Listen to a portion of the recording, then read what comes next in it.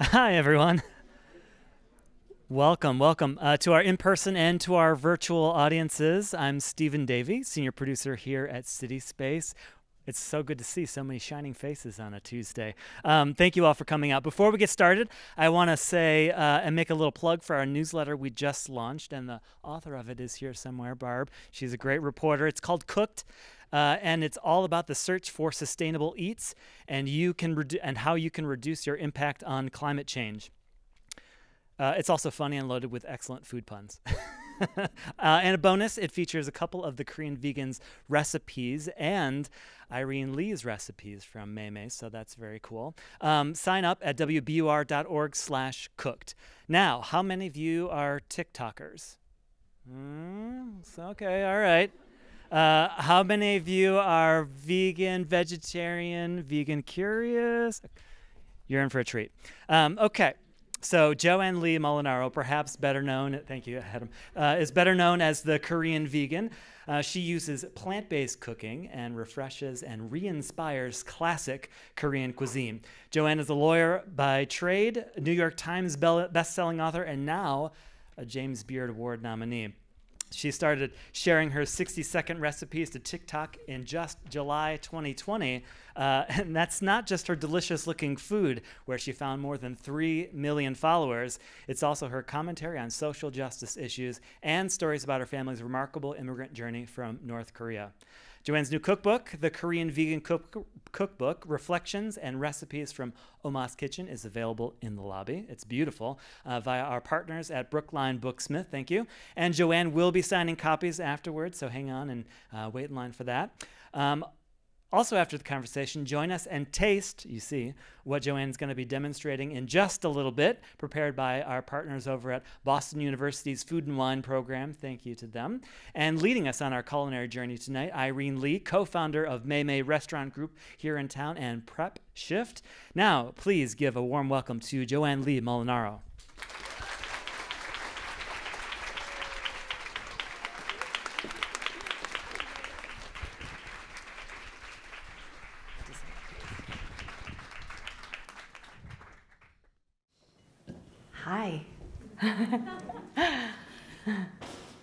Joanne, it is such a treat to be here with you, isn't it? Yeah, yeah seriously. Um, I think one of the first things I want to say is that we were just talking backstage about representation, and for me, as an Asian American woman, to get to sit here with you, someone who I have a few things in common with, is really a special moment. So thank you for that. And one of the reasons that I think we have a lot of things in common is because the first recipe I ever saw you make was your kimchi crunch wrap supreme. and that really spoke to me. And it so, speaks to everyone. yes, yes, it does. Um, and so I was wondering if we could just sort of start with talking about your, your journey toward veganism. Um, yeah. Such an interesting story. Yeah, it was a, a short journey, um, but it was a not without controversy, I guess. Um, my now husband, then boyfriend, who's somewhere here, he um, he wanted to go plant based. He wanted to go vegan, and I think my initial reaction was like, okay, well, you do that, and I'm not. So, um, and I think I had a lot of skepticism about it as a diet. I was paleo, which is about as far on the other side of that diet as you could possibly be. I was also Korean, and I identified with my food on a cultural level. So as far as I knew, there was no such thing as Korean vegan food. So I was worried that if I joined him, I would no longer be able to eat Korean food, which, you know, is not just an elimination of the food, but then also an undermining of the relationship that I had with my family and my culture. So there was a lot of things that kind of made me be like, okay, you do that and I'm not going to do that. And he, you know, adopted that plant-based diet and in his campaign to get me to join him he had me watch all the movies like food inc. and cowspiracy and forks over knives all very compelling um, but not compelling enough i guess uh, for me to change my mind about it Um, but there were a lot of different things that ultimately led me to saying, okay, maybe I'll give it a try. One of them was, you know, the inconvenience factor of having to cook two different dishes for every meal. I was like, oh, this is getting kind of tired. like, I don't like this.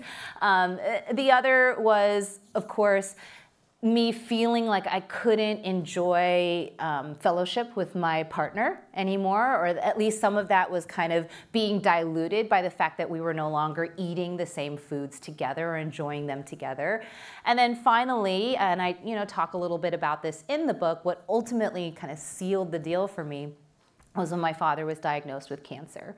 And it was a very jarring kind of situation because in one of the movies, there was a discussion about this very um, marked correlation between East Asian men uh, experiencing a sharp increase in the occasion of uh, prostate cancer, as well as the westernization of their diet, which meant that they were consuming far more red meat than they typically did.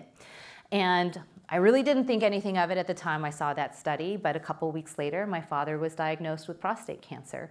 And I felt like the universe was trying to say something to me, nudge me in a way that I couldn't ignore, especially because my father was in the hospital. I mean, he was in a coma. It was a very scary situation.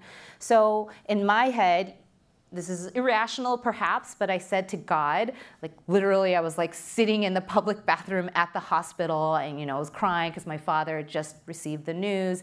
And I said, okay, God, if you want me to give up meat, I'm giving up meat right now, but please just do what you can for my dad.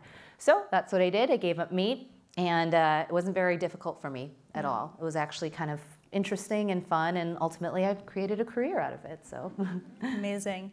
And one of the things you've written about is how I think maybe an unexpected part of cooking vegan is that you're now a food scientist because there are so many ways that you want to um, perhaps imitate foods that you miss as a vegan.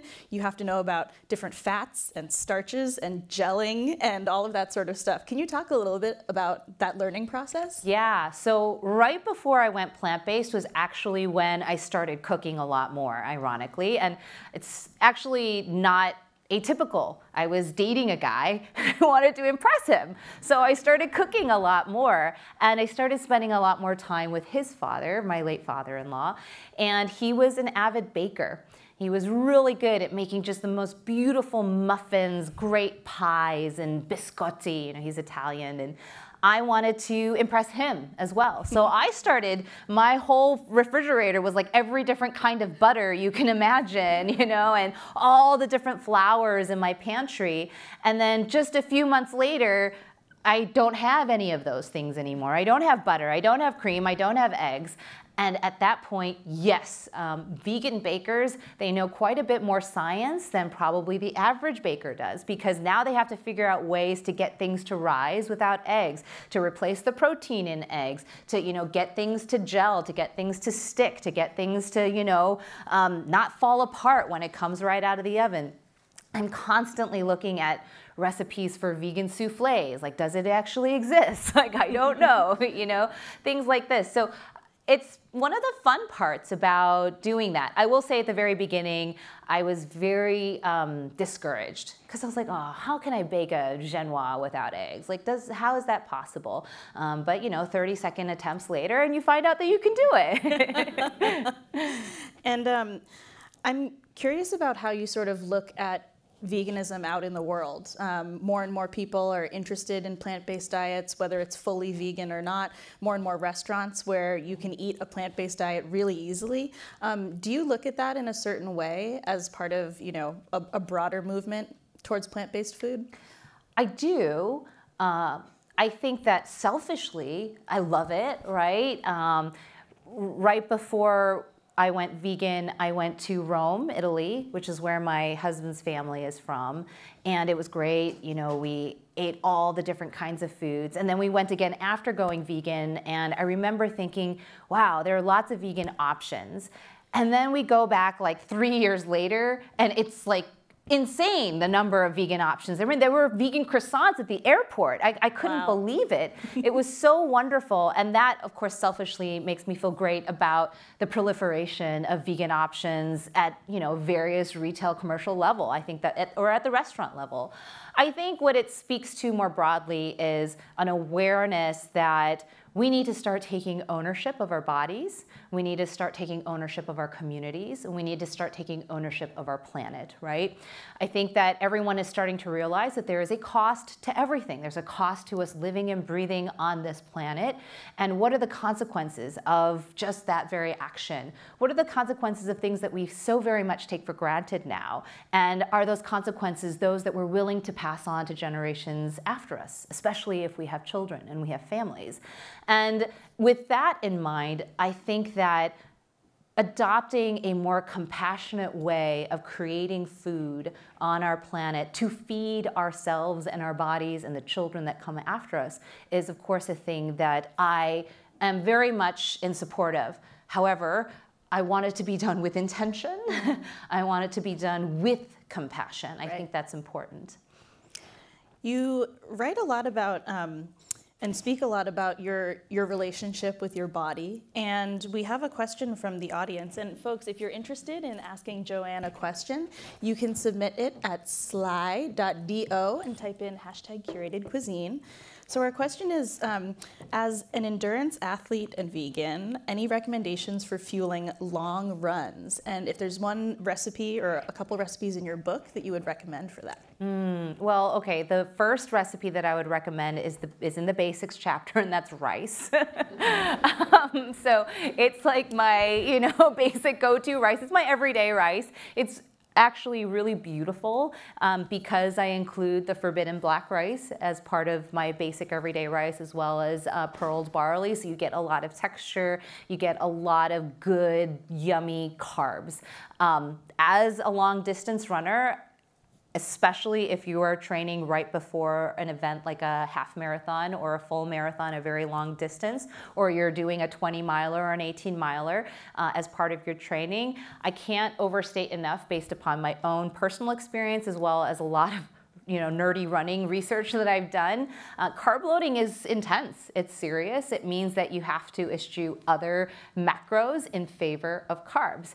And that means that you can't really be adding too much fat. You can't be adding too much protein. So I think rice is about as perfect as it gets. It's a great carb. Uh, it's very, I don't think there's any fat in it. Um, and so it's a wonderful way to kind of bulk up and, and really restore any depleted glycogen from the rest of the week. I think um, sort of for like everyday kind of training to kind of keep you fueled, you do want to have a good level of protein in your diet. So one of my favorite recipes is the braised tofu or tupuchorim inside the, the book. Again, it's not very high in fat. It's got a ton of flavor. It's so easy to make. I would say the tupuchorim rice and then the kamja chorim, which is the braised uh, potatoes. Those are my go-tos during the week. I love to make them. They're easy to make. They're fantastic for fueling your runs. And speaking of those famed potatoes, um, we have a, a, video lined up. This is one of the first videos yes, you posted was. to TikTok. Mm-hmm. And um, we can hear uh, Anthony playing piano yes, in the background. free recital. Yes. and, and, you tell this amazing story, um, which I can't wait for the audience to hear. Oh,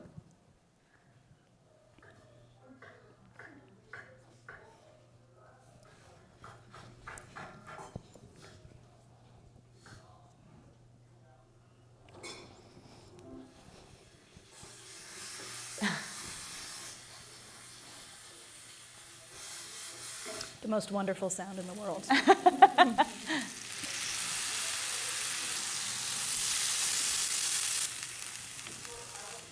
Yes, as you can see, I did not know how to use TikTok at the time.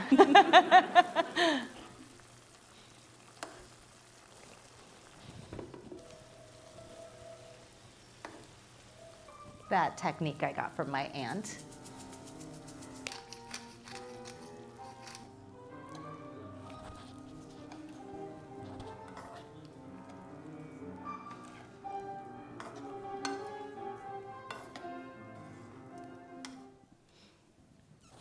Yum. Yes, that was my so first TikTok. It was so funny. Everybody in the comments knew exactly what Anthony was playing. I had no idea. All right. And so now we're going to go to another video. Sorry, this was the one I was talking about mm-hmm. before. Um, a story about a trip with your mom to the grocery store. Oh, yeah. um, I, I loved hearing this story. Reminded me of my own mom. I think you used the word combative, which I would say is an excellent adjective. Yes. Um, so we're going to go to that video next. I often wonder where I get my combativeness from, and when I do, I think of this one day my mom and I went to the Korean grocery store and we stopped at the walnut cookie store to pick up some cookies. Now, at the time, I was incredibly overweight, and next to my 90 pound mom, I looked even bigger than I normally would. We were standing in line paying for our walnut cookies when the woman standing behind us said in Korean, Ajuma, can I have some samples? And I had just tried a sample from the tray at the register, so I gestured to her, oh, here, here are the samples. And the woman says in Korean, Oh, I don't want to touch anything that weird fat Chinese lady tried, thinking that I couldn't understand her. Uh, someone who's been overweight her entire life, this was probably one of the lowest experiences I'd ever had, and I just wanted to hide behind my 90 pound mother. When all of a sudden I hear my 4 foot 11 inch mom say, What did you say? You are a horrible, horrible person. She was screaming so much they had to escort her out of the store. And the best part is, it was in perfect English. Wow, I love that. And how that video got 2.5 million views. Yeah. No big deal. Um, so I, really love the way that you talk about your relationship with your body and that there's so many ups and downs. What's it like to have 2.5 million folks hearing about some of these really painful stories that are that are really you know core memories for you. I think on some level there's it's very cathartic to be sharing this. Um, sometimes I like joke, I'm like, you all are my therapists, like for free, um, because I do get to unload some of the things that are in my heart that are burdening me. But for the most part, I would say, including this story, these are old stories. They happened to me many years ago, and you know, one of the things that my creative writing teacher back when I was in high school, she always used to say, it's important to write what you know, but it's also important to give yourself some time to process these things, these stories, before you share them. Because invariably, if you share them too soon, there's still a lot of things, like you know how you get too close to the, to the, you know, I don't know, famous artist that does the thing, the murals where it's just like a lot of pinpoints and then you don't know what you're looking at until you kind of move back and you see the whole picture. It's the same sort of thing. If you haven't processed the emotions tied to a specific memory or a story, sometimes your ability to communicate that story is impaired. And so a lot of these stories that I'm sharing, they happened many years ago. I've already processed the emotions, the shame or the guilt that was, you know, tied to that one. And all that I'm left with is just this immense pride for my mother, this immense love and appreciation for my tiny little mom, and how she was just so like, I mean, she literally, they had to be like, you need to leave the store, ma'am, you know, in Korean, because she was so angry. And that's all I'm left with. And that's what I want to convey to, you know, 2.5 million followers is gosh, I'm so lucky that I have such a great mom, and I hope that you have a great mom too. Or if you don't have, you know, the best relationship with your mom, that you have someone else in your life who would do this for you. And if you don't have someone else in your life, well, there's a there's a person here who appreciates that, mm. you know. And so that's really what I wanted to get across. I also think there are a lot of people who could, especially, you know, Asian Americans. Um, I feel like there's always like two sizes. There's like the size that's my mom, and then there's the size that's more like me. And I feel like there are a lot of Asian American women who have reached out to me to say, oh my God, I so relate. My mom's 90 pounds, my mom's tiny, and I don't know how to interact with her sometimes because mm. I feel so large, like physically, you know? And so sharing that, I think, also creates kind of a, a moment of being seen for me and for them. I love that. We have a great audience question. As someone who's spoken about her history with body image, how do you approach veganism without succumbing to potential disordered eating? That's a great question. Yeah. It's one that my therapist asks me many, many times. um, she's very candid. I, that's one of the reasons I like her. She's like, you know, it's a form of restriction, and we're very anti restriction in this space. So I do understand that. There are a couple of things. Um, number one, when I talk about body dysmorphia and when I talk about disordered eating, I try to be very mindful of the fact that even when I was struggling with that and continue to struggle with that, like any little thing could trigger me. Like even things that were intended to help me could trigger me. So I always try to be very careful about how I talk about this while also being honest. The honesty is that of all the things that I continue to talk about on my social media or in my book or anywhere else, this is the one issue that I probably continue to struggle with. It's not something that I have processed to resolution. So all of the other things I feel like, okay, you know, subject to, you know, current events like AAPI hate, obviously that's an ongoing issue that I continue to struggle with. This personal issue is one that I struggle with. Because of that, I try to be very responsible about what I share in that regard because again, I don't want to trigger a relapse for anyone else. I think the, I mean, other thing is in terms of the specific question, as a vegan, I will say this. My whole life, my whole life was about calories in versus calories out. Every single thing that I did was about that.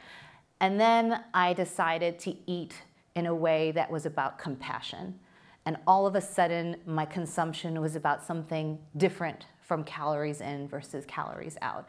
For once in my life, how I designed my plate, the food that I put in my body, could be an act of compassion, it could be an act of advocacy, it could be an act of empowerment, right? And that has really helped me to reframe the way that I view eating. Does it cure me? No. It doesn't, okay? And I don't know that there is a cure for my particular struggle, but it's certainly something that has armed me the next time I feel inclined to do something that might be harmful to my body. Wow. Um, I think, you know, your um, meteoric rise has been really incredible over a really short period of time. And I think that in the last year, it seems like things have really coalesced for you. Um, I remember reading that after Joe Biden won the election, your your Twitter persona, which is a little spicier, more political, um, kind of collided with your TikTok and Instagram persona, which was more about food. And um, people let you know that they did not have the same political views as you. And then you went and shot a TikTok video that went viral where you explained the federal rules of civil procedure because you are an attorney by, by training. And you basically just roasted the crap out of people who said that they thought the election was fraudulent. I mean, how cool is that? that is just a, a, moment of convergence that I think is so special. And um, we're going to go now to a video where you reflect on a year of posting to TikTok and what it means to be a creator. Yeah. In case you don't know, I am a lawyer. When I was 22 years old, I told myself that I wasn't really that artistic and that I was better suited to a career that values analytical thinking, and so started my career as a lawyer in big law. Then, one year ago today, I posted my very first real TikTok, and over the past year, I've gotten a chance to earn the title that was given to me by all of you, creator. I'm getting a little emotional just saying that because uh, you think that I'm a storyteller, a writer, an artist, and for so much of my life, I convinced myself that I wasn't creative at all, that art was something reserved for people who were far more talented and extraordinary than me. You all have changed my life given me the confidence to pursue dreams I thought were long dead. One of those dreams? It arrived in a box the other day. I got to hold it in my hands, leaf through the pages containing my words, my stories, my photos. In a few months, you all will hold a copy of my heart in your hands, and here I am today, one year from my very first TikTok, still astonished that this is my life, the life of a creator.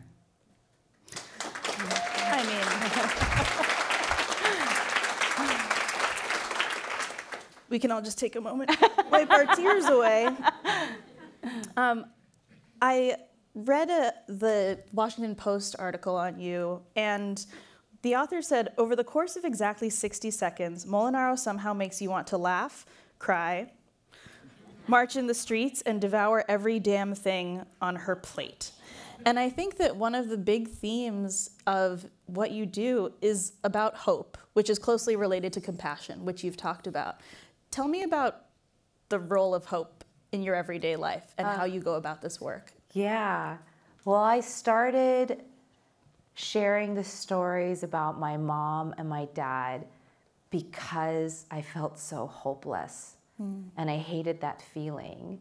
I watched everything that was happening on the news back in 2016 after the election particularly to Asian Americans. And I was like, I don't know what to do.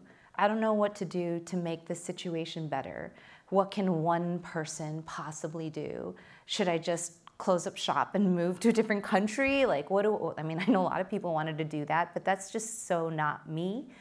And so I started sharing the stories about my mom and my dad because I believed that maybe one, two, ten people would hear something about my mom standing up for me in English at a Korean cookie store, or my father's escape from North Korea, or how he struggled working at the United States Postal Service because everyone made fun of his English, including his daughter. You know, I, I hope that somebody would hear these stories and say, hmm Maybe I just don't know everything I thought there is about what it means to be American.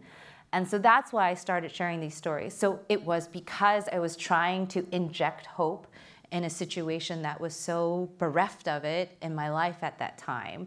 So every day, everything that I do is an affirmation, a sort of stubborn refusal to reject despair because despair i always think despair is when you turn you know someone said despair is when you turn your back to god. And in my belief despair is when you turn your back on yourself you know there's nothing left. And so i always try and think you know even with my struggle with eating disorder or even you know with aapi hate do i just close up shop and say okay i'm done. I don't i'm i'm going to resign myself to this. And i refuse to do that. So every small kernel of hope is is what i choose to project. Hmm. What I'm hearing you say is that hope is a practice. Um, it is. It's a choice. Yeah, it's a choice. Yeah, and that that every day you make investments in having that view of the world. We have a question um, about for for people of color, for people who feel marginalized in, in our culture, what advice do you have for staying positive and, and practicing that kind of hope, especially when um, we're constantly bombarded with um, terrible things happening? That's a very difficult question. I think number one, it's okay to feel like crap. Like it is a crappy situation. Like even what we're going through right now with what happened in, in Buffalo, you know, what happened in Dallas, you know, what, what happened in Laguna Woods. Um, it's okay to feel despair in moments. It's okay to sit in your feelings of sadness and grief. In fact, it's not okay to ignore those feelings and, and continue pretending to be otherwise. That's where you end up in a situation. So I always say to people number one, acknowledge your feelings, acknowledge your grief, allow yourself to mourn in the way that that manifests in your life, right? But then I think the way that I have created a situation that facilitates hope and affirmation is um, communicating like, I need to talk to people. I need to talk to the people who are close to me, whether that's my mom and my dad, and, and making sure that, hey, like, okay, we're on the same page about, like, if you go out, you need to have the spray thing, like, you know, things like that. Um, talking to my partner, my husband, and making sure that we're fleshing out issues that can be very difficult to talk about, particularly if you're in an interracial relationship. Some of the issues that we talk about end up in, in yelling matches. That's okay. Like, I need to communicate. And then finally, creating a space of like-minded individuals who might be suffering and struggling with the same issues, i.e. an Asian American community. For example, at work, I leaned heavily on the women of color group that you know the firm created for these types of issues. Like I was at every single meeting. We talked about our feelings. We talked about how it impacted our ability to show up at the office, to show up in court, to show up in largely white dominated spaces. What does that mean for us as women of color? So like leaning on those communities I think allowed me to feel less alone. And I think isolation is probably the worst thing that can happen when you're feeling hopeless. And I think that what you create and put out in the world gives people an opportunity to lean on you. Well, that's, that's my hope. So lean on me. lean on me. Like I do want people to feel like they are seen and that their stories are important, that they're they're being heard, that um, your feelings are valid If you're angry about what's happening, that's valid. If you feel sad about what's happening, that is valid. If you feel loss, immense loss from what we've all gone through over the past two and a half years, that is valid. And I want people to feel safe in expressing that. I think that one of my favorite sort of series that you've done on TikTok, I, I guess for me, a lot of your work is about trauma, but it's also about talking about your process and, and how you've healed. And I don't think I ever would have thought about um, TikTok as a, a, mode of healing per se. But here you are um, with a, a, series about, you know, your Korean auntie. Um, and so we're going to go to a video from early 2021, Auntie Makes You Gimbap, and it's just an incredible example of you. It's almost like therapy ASMR. um, it, it's really special, and so I'm, I'm really excited to go to that video. So when you get dumped, they're to say things like, he wasn't good enough for you anyway, he was stupid. This is a blessing in disguise. Let's cut through the bullshit. It sucks to lose somebody that you felt so connected to. You see, when you love someone, whether for five minutes or five years, they have the power to bring out the best in you. So when that person stops loving you, you're not just mourning the loss of that person, but you're mourning the loss of the person you used to be when they were with you. They say live your best life. But the truth is, we're all looking for that one person who lets us live our best self. You may feel wrung out and squeezed right now, but your grief is actually a testament to the thing that makes you so precious your vulnerability. Now, love may bring out the best in you, but here's the thing, babe the best in you has been in there all along, and it will be there when you finally find someone who's worth only the very best. Oh my gosh. like, wow. Like, it feels like you're talking straight to the person watching. Something you said in an interview is that people who watch you on TikTok, they crave mom energy. Yes. Um, I got a lot of mom energy in that one. And I think that that is why it's healing to watch these videos too. It's so special. Well, I, I watched a lot of of that kind of videos myself, and I found myself moved by them. Mm. There's a lot of that. They're called POV, uh, tash, hashtag POV on, on TikTok. There are a lot of those, and I found them to be very moving. And you know, I wanted to create a series inspired by my nephew, who's only four years old right now. But these are the conversations I look forward to having with him. We have another great question from the audience. How has your Korean family responded to your vegan Korean cooking? I bet you get this question a lot. Do you still feel like you are sometimes sacrificing community or family um, with the way you eat? I do. I'm not going to sugarcoat it. Mm. I don't like sugarcoating things. Um, I think there are some vegans that are like, everything's the same.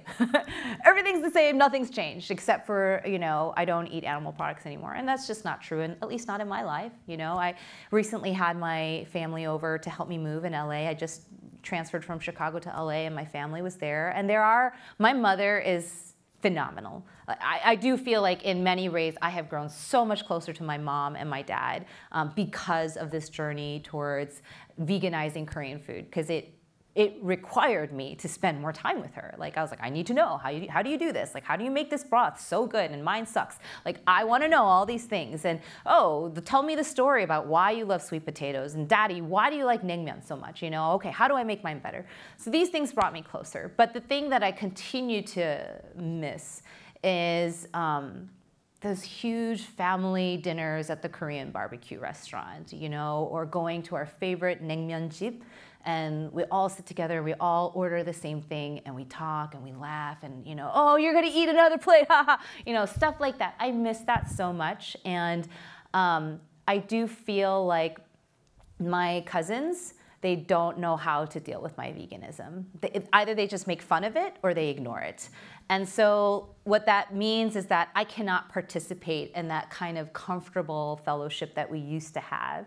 And that like I'll be very honest, that hurts my feelings. It hurts my feelings. I've, I've said this before. Like it's literally brought me close to tears on many times because mm. I love my cousins so much and I feel like I have to grieve over that, especially when it occurs many, many times.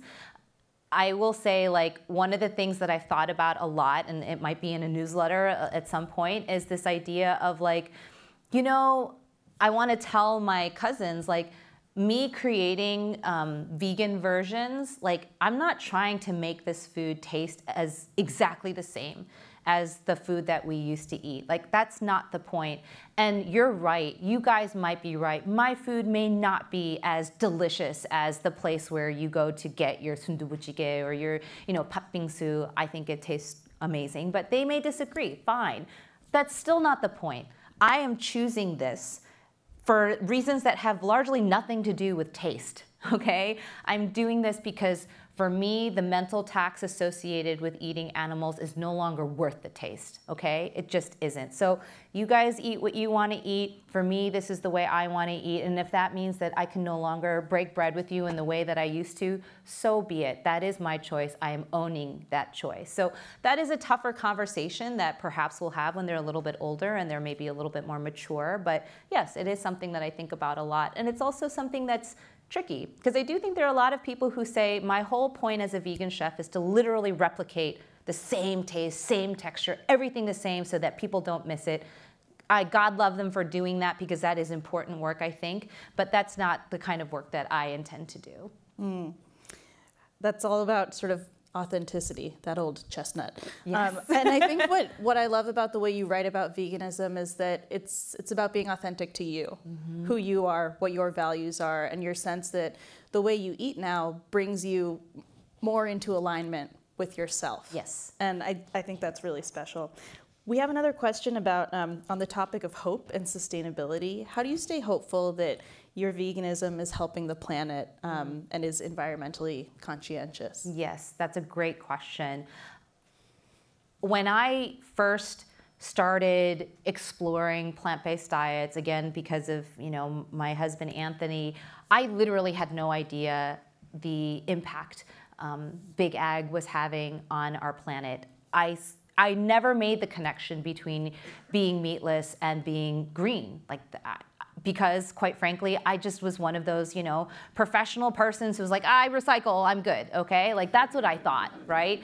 And and then this whole world opened up to me after watching Cowspiracy. You know, whether or not you agree with the complete accuracy and veracity of all of the little factoids that they include in that movie, it is indisputable that there is certainly some impact on the planet from big ag, right? And that that impact can be mitigated simply by changing the way that you eat. So my question then, again, as a skeptic was like, really, like, you know, what, what role do I, as an individual, again, what role do I have in this? And if it really is that bad, do I just, again, hang out my shingle and say, you know what, I'm moving to Sardinia, I'm gonna live out a quiet life and enjoy the planet while it's still here? Is that what I'm supposed, I'm not, you know, so, I mean, is that sort of the answer? So I actually did some Googling Google's great. And I um, found this study. I literally was just talking about this study with uh, Alyssa, our, our, our, you know Penguin um, publicist. I love this study because I was wondering, like, is it just like government and corporations? Are they the only ones who can do anything about it, or do I actually have some impact? And the study was fantastic. It actually pulled together like 140 other studies on climate change. And what it noted was number one, that 50% of carbon emissions are actually a result of individual actions, right? Which means that individual actions can make some pretty significant difference. And then it distilled four things that individuals can do in order to mitigate their carbon footprint. And one of them was eating a plant based diet. And I thought that was so. It was exactly what this questioner is asking. It gave me a breath of hope. Like, oh, okay, there is something that I can do. I shouldn't just despair because really the temptation to despair when it comes to climate change is quite high. Um, you know, especially with the things that are happening with, you know, people's literacy on this issue, the government's literacy on this issue, their unwillingness to do something about it can be very, very troubling. But when you realize that, hey, me switching out this, you know, regular hamburger for Beyond Meat burger, an Impossible burger a few times a week can make that much of a difference, wow it's empowering. It, you feel like you can do something about that. Hope and empowerment, they go hand in hand. I'm feeling very inspired. Yes. Um, so Eat an Impossible Burger. we're going to do one more question and then go to the demo. And this is a very practical question about how to woo non-vegans. Mm.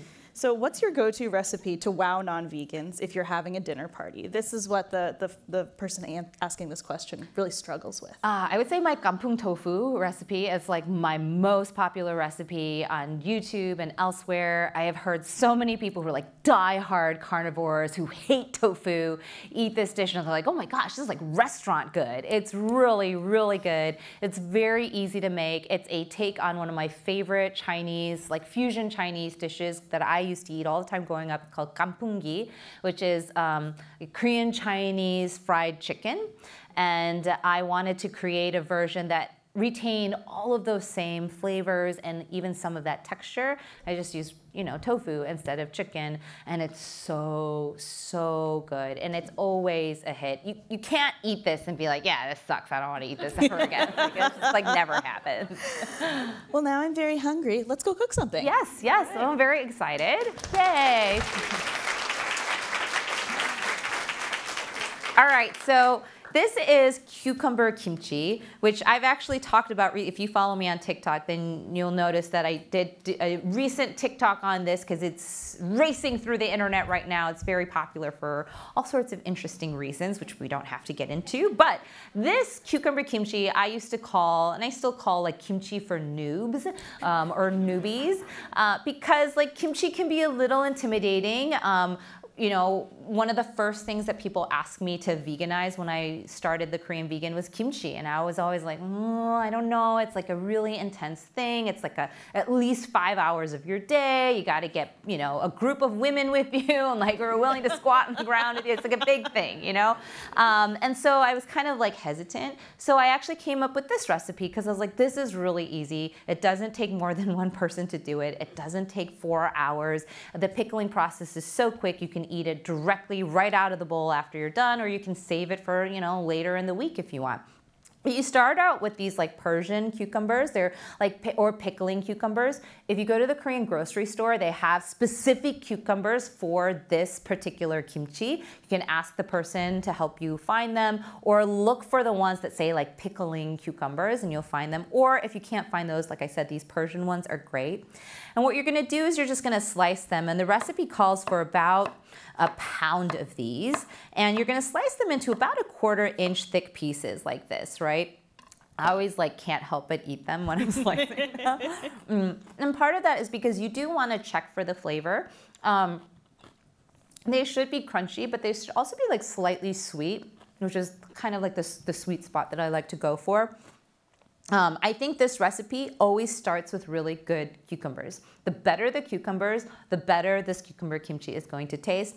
I remember once I made it with cucumbers that was like really bad and it was not salvageable. So you do want to try them. So we do the like one fourth inch thick like little rounds here and then you put it into a bowl.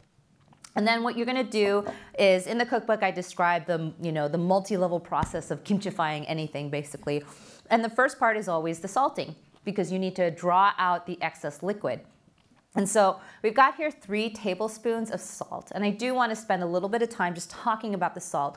This is not when you bust out your table salt, okay? Because that is not going to work very well. That salt is too fine and what it's going to do is going to get absorbed directly by the vegetable as opposed to a coarse sea salt, what you want. So we're going to put in three tablespoons of that. Now, some people have said, that's too salty. Okay, I, I get you, I understand. But the salt actually creates sort of um, the process of osmosis, right? It's there to draw out the liquid, and you are going to rinse these cucumbers after the pickling process to get rid of the excessive saltiness. If you try this recipe and you say, still too salty, I don't like it, then use maybe two tablespoons of salt, but I found that three tablespoons really does kind of hit the spot. My mom probably would use four tablespoons, but that's because she really likes salty kimchi. Um, so that's what we're gonna do. Now we're just gonna like mix it up here. Of course, if I were like, you know, in ajumma mode, I would be using my hands, but um, you know, you can mix it up using a spoon, using a spatula like this. All you want to do is make sure that we're evenly coated here. And again, the salt is going to help draw out the excess liquid. We're going to set this aside for about like, I don't remember what the book calls for, but anywhere from like 20 to 45 minutes, I would say, right? And what you want is you want this sort of texture at the end of the day. So we're going to, let's take one of these for comparison, right? I can, like, it's very stiff That's what that's what we got in the beginning. But then at the end of the pickling process, you got like this bendiness. This is what you want to go for. And again, give it a try.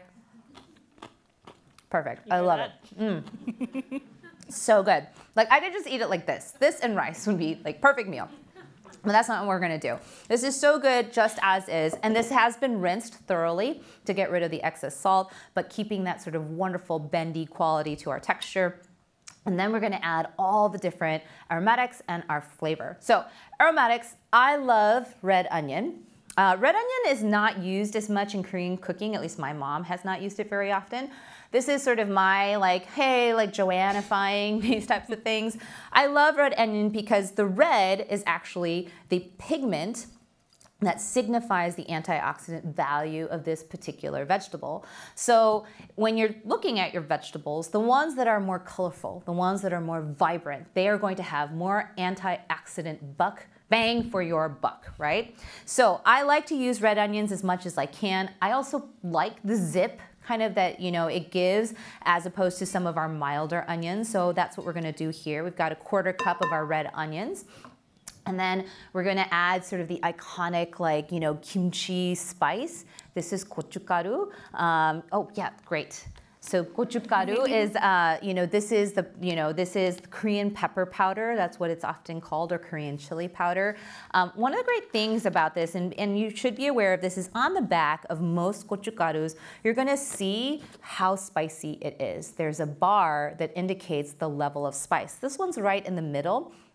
But obviously you are better able to gauge your own tolerance for heat and what this actually correlates to. Like for my mom, this would be like more like here, but for me, it would be like over here, like danger zone, okay? So just keep that in mind. Um, we're gonna add three tablespoons, three or four, no, four tablespoons here. If you are not that great with spices yet, you're working on that tolerance level, then you know maybe do two tablespoons or even one tablespoon. Like I said, this would have been good enough in my estimation without any gochugaru at all, right? We're gonna add that. We're also gonna add some sweetness. I've got here two tablespoons of sugar. You could also use like plum syrup. You can use a maple syrup, which, you know, if you have the cookbook, you know I, I use a lot of maple syrup in my cooking. Um, you can use brown rice syrup, which is another one of my favorite sweeteners, agave syrup. But I'm using sugar here just because it cuts down on sort of the liquid. One tip that I did not have when I was writing this cookbook, I was just talking to my mom about this the other day. She was like, when you use sugar, I mean, how many of you cooked with sugar and water before? Yeah. So what happens? It turns into a syrup it gets really thick, right? So over time, if you don't eat this like instantly, over time, what happens is that the liquid, the pickling juice actually gets kind of syrupy and thick, which maybe you like, but a lot of people don't. So my mom has said, actually, your grandma used to use uh, sweet and low instead of real sugar.